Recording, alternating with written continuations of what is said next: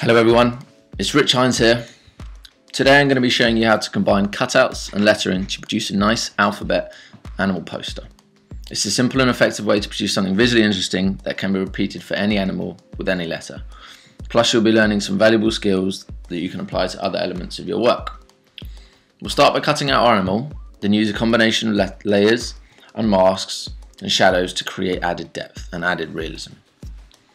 First let's open up Adobe Photoshop and create a new document, A4 paper size.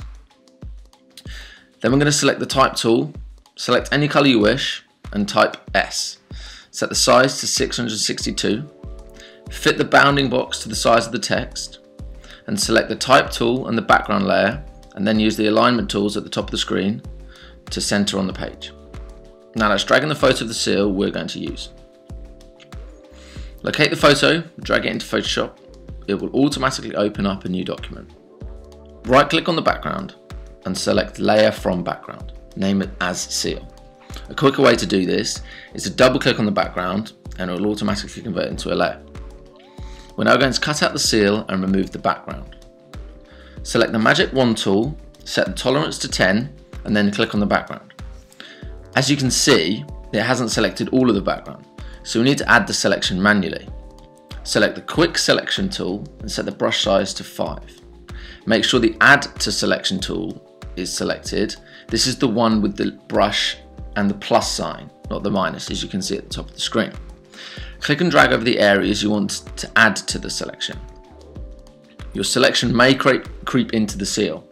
If this is the case, change to the minus selection and drag over the areas of the seal that you want to minus from the selection. You might need to play with the brush size on this just to get that perfect selection around the edge of the seal. You should now have a nice line of marching ants around the outside of your seal. We now want to refine the selection so that the layer mask doesn't look all jagged and rough. Go to the top, select, inverse, then select again and refine edge. If it doesn't automatically present as black and white, click on the little image and change it it will be easier for you to see the change this way. We want to smooth out the selection so it looks more realistic. Set the smooth to 60, make sure preview is checked on, this way you can see the change being made. Click OK. Select the layer mask icon below the layers panel. This will hide the background from the selection we made. Click on the move icon and click and drag your seal into your other document it will appear as, as rather large. Now we just want to scale it down and position it so that the seal sits partly on and partly off of the S. This will allow us to create the effect that you saw at the beginning. Drag the type layer above the seal and set the opacity to 50%. Command click on the T of the type layer to make a selection. Go to the top, select and inverse. We now want to remove the areas that are outside the bounds of the S select the mask of the seal, the right hand part of the layer. Select your brush tool at 100% opacity with a black fill and a hard brush. Begin to remove the unwanted excess. We're not actually removing it, we're just adding to the layer mask. It's just hiding it. Let's create the gradient background. Select new layer and then the gradient tool. Select the left hand color and set it to hex a9AAB8 and then the right hand colour to F2, F2, F5. Click and drag from the top left hand edge of the page to the bottom right.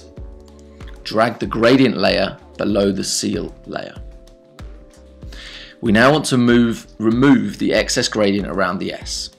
Command click on the T of the type layer so that the S is selected and you can see the marching ants. Then select the gradient layer and make a layer mask. This will remove all of the excess gradient from around the S. Now we just have to hide the type layer.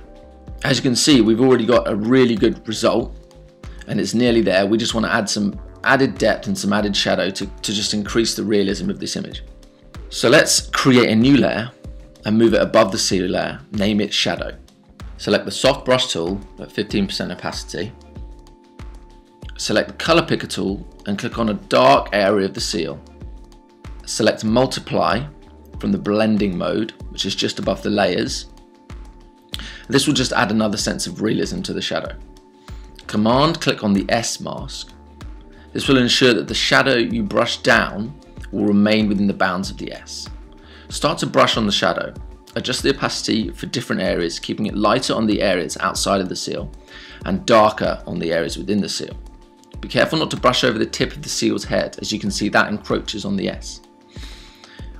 If you feel the shadow is a bit intense, you can play with the opacity of the layer, which I have done. You can now appreciate the finished result.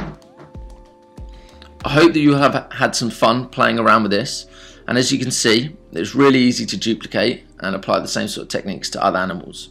You can go and have some fun with this. A big thanks for watching. If you have enjoyed it then please subscribe to Design Cuts for more awesome tutorials. This was Rich Hines. See you on the next one.